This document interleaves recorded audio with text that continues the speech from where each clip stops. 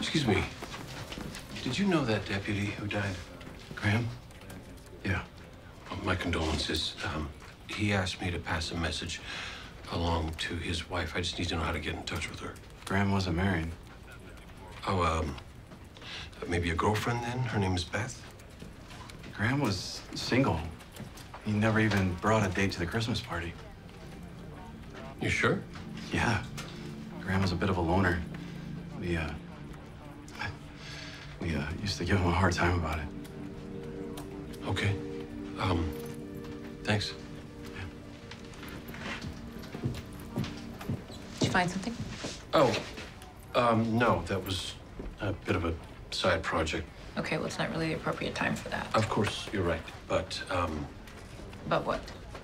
I, I was with the deputy when he died. He asked me to give a message to someone named Beth, and now it turns out he's single.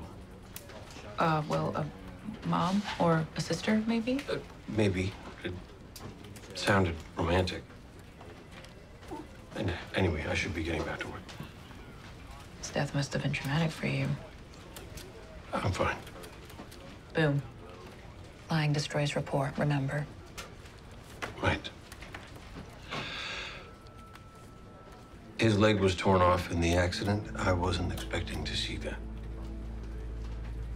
You know, I will never forget the first catastrophic injury that I saw.